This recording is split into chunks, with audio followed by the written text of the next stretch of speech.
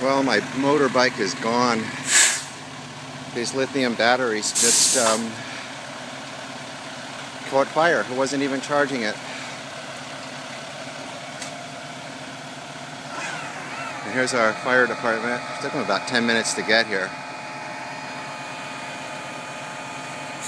Goodbye, bike. We had a good time together.